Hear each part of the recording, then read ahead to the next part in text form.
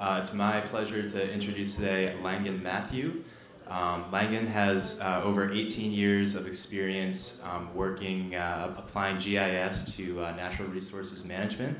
Uh, he's currently with WWF Uganda, and today he's gonna, oh, sorry, Tanzania, uh, Tanzania, not Uganda. And he's here to tell us a little bit more about his work. Thanks a lot. Good afternoon, everybody.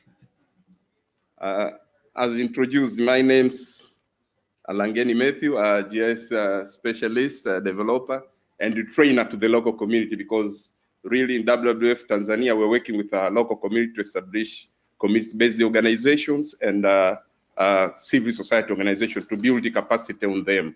So what I'm going to uh, to present is about WWF tools. The tools, there are several, but I selected two of them which nearly uh, go to global. So it's uh, starting with the contents, will be introduction, break down the history, how it started, coverage and data.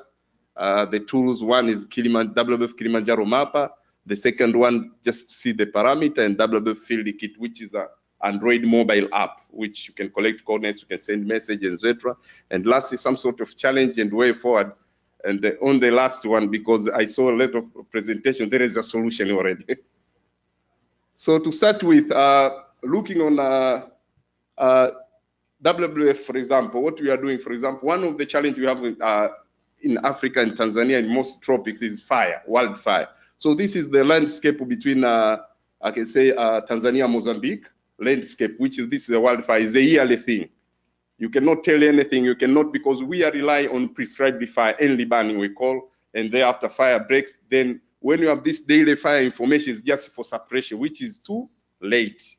So the aim is try to help these uh, ecologists or people working in the field, the rangers, whatever, to understand when is time a good time to do prescribed fire.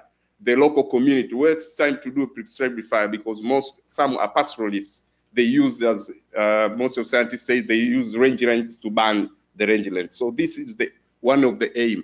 And uh, to start with, I was developing something, downloading all the data, as you see, and creating, this is a East Africa community area, including the South Sudan. It was really monthly thing, still never tell a story. So this is about wildfire. Going to the second, this is uh, another thing. Uh, one of my colleagues right now is doing some uh, restoration project on forests around the Kilimanjaro. Uh, so uh, this is the Kilimanjaro ice. This is, uh, I can say, there is several mountains which are highest or tallest, you can say. But freestanding in the, in the world, this one is the highest one. So it's Kilimanjaro freestanding mountain. Others are just mountain ranges you can find. So you can see this, we have the ice or the glacier on top. So you can see how it degraded from uh, 37, you can see, but this is from Google Earth Engine. I just extract, remove the clouds, and uh, try to find the minimum uh, time when there is a, a low uh, coverage of the ice. So you can see how it reduced. And the thing which is really, uh, you can see there is a, a, small mountain on the side, a small uh, hill a, a little bit, there was the ice in 1987, but right now there is nothing, a little bit. But during a rain season, you can see the ice is covering a lot. So this what triggers to uh, start doing this one. So to start uh, doing this one because of the Google Earth Engine, in old days, uh, mostly in African countries, I don't know about that, I know this history from African countries, we use quarter degree, we use grids to collect data and to disseminate information. Right now, it's just raster and cells after computer, etc. But 70s, 80s, before the GPS was grids, so grid cells. So this was a quarter degree thing, and uh, you can read more from the. There is something missing, but you can read more from Wikipedia. Just like write Q quarter degree uh, grid cell. You can read more about how it is. So mostly starts with one degree. You can see the one degrees and uh, goes down by square up to somewhere 10. So, uh, for example, for the point with coordinates uh, longitude, that one, and latitude, you can see the, the, the how the quarter degrees is presented by number. So other they call quarter degrees uh, cells, quarter degrees you can see and you can see. But looking on Google Earth Engine, how the images. So the image, for example, by time, and you can reduce. You can reduce by collections, find the statistics, and you can reduce finding as quarter degree what it meaning, what it means. So that was the quarter degree. So this is how this WWF Kilimanjaro mapper is implemented. You can look at the Google Earth Engine. The all data sitting on the Google. And because WWF, we are using the email system of the Google called G Suite. So the securities are from ICT guys and Google guys. So I don't care about securities, just implementing using my office email. And you can see that this is a Google App Engine, which some definitions are here. What you have to do is just doing a Python to call those, uh, to query the data in Google Earth Engine, perform some mathematics, and give the results, which mostly we like this uh, community organization to use, rather than the scientists, the simple one. So this is how, so there is a web, and there is a, uh, some plugin which are using Leaflet, which is a JavaScript pulls the data from uh, a system of system, the system which uh, this Earth observation satellites are providing data. And there is a WWF Global. This is a spatial data, qualita qualitative data from WWF, which is ArcGIS online, and which some data which we put free. You can search on any system with uh, with uh, provide the data for free. So you can search, you can add your data. So it pulls some qualitative data, but the real system for this Google App Engine pulling that is providing quantitative data, providing the graphs, so just uh, the trend within specific dates.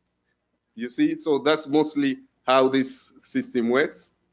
So you can see how this uh, Google Earth uh, WWF Kilimanjaro mapper is, is a leaflet based, and you can see how uh, this is how you can see. So mostly it uh, means for Africa Regional Program Awards, right now based in the Tanzania country office, but uh, for this one, right now, globally, you can query the data, but quarter degree, when you go to the poles, because it uses the degrees, so it's some changes, elongated degrees you can get. But it's the around the equator going to tropics is perfect.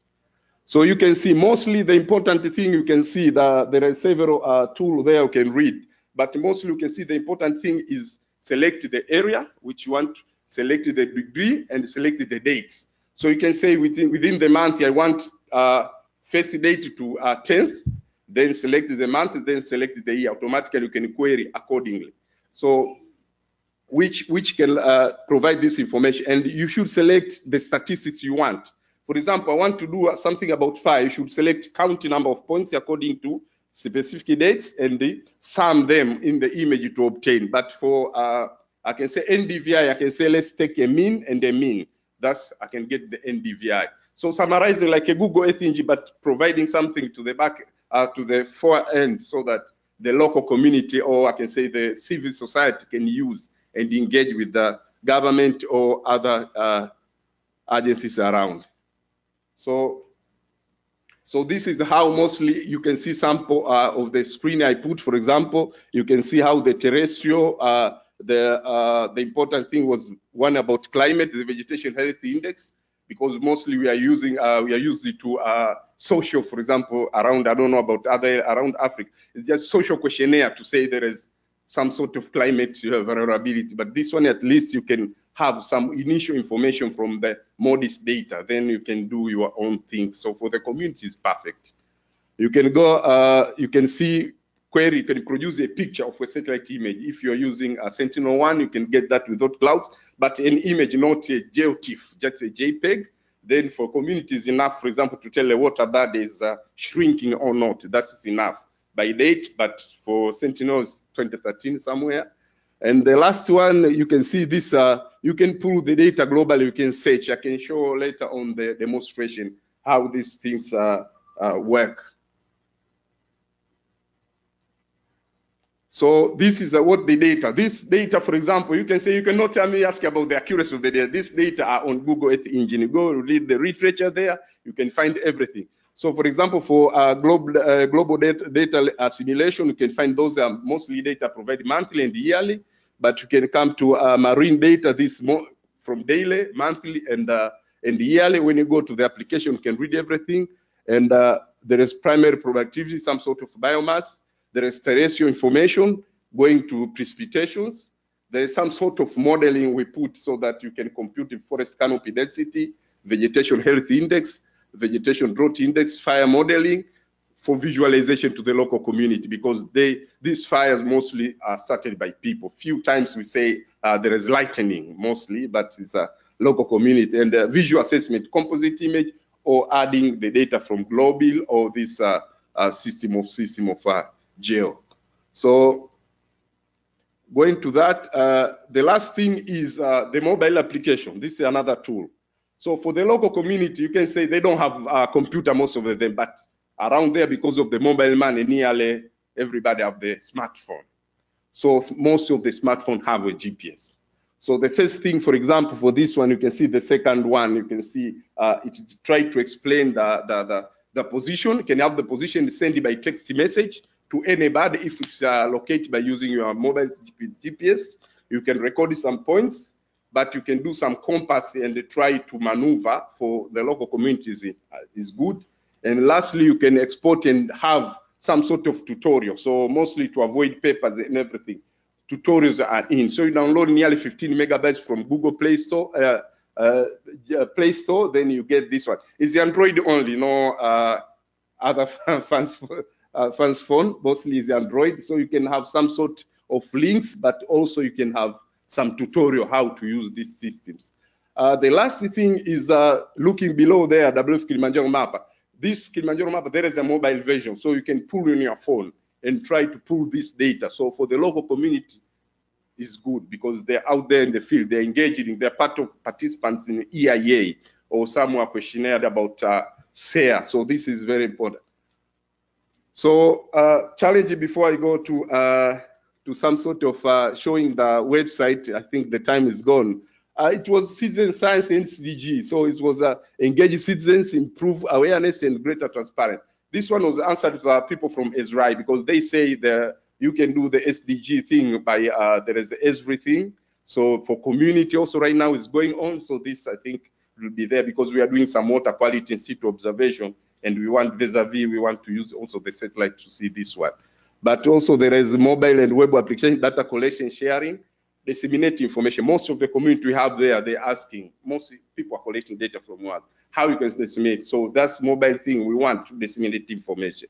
So what we are creating, we should give back to the society. A simple one, for example, this have a graph showing the trend. That's only they want. So that's the thing. And lastly was data modeling, uh, mostly uh, looking on, uh, for example, here to be on Eye on Earth. I can see several things so you can see what you can grab and you can create for the local community out there so that using this Google application. The whole thing, the WF Kilimanjaro mapper is not, because it's a code, everything that in Google Earth Engine is not more than 10 megabytes, just code, not more than 10, 10 megabytes. So it's, you can see how easy it is. And because it's hosted within WWF, so that's how simple it is. So I uh, can show you the, the, the demo. Yes, this is the tool. So mostly uh, it zooms you uh, around Africa, but you can use even to uh, wherever South America. So the first you can see uh, there is this uh, some explanation uh, about Wikipedia. You can see, read about quarter degrees. So this is how, how to use the video in YouTube. That's how simple it is. Some explanation about the parameter this the first setup. For example, I want around, uh, let's go say around Zambia here. Then I can say the date. This is first. Then I can select the uh, going to, for example, 31st. I'll show for one parameter only. Then first month or to uh, this month is 9th. Ah, so time is up. So, but you can try. This is the just a few seconds. This is the simplest method. Then after this one, you just uh, try to select what you want to perform statistics. Then you go and uh, try to compute. That's all I can say. So sorry, the time is not enough. Thank you very much.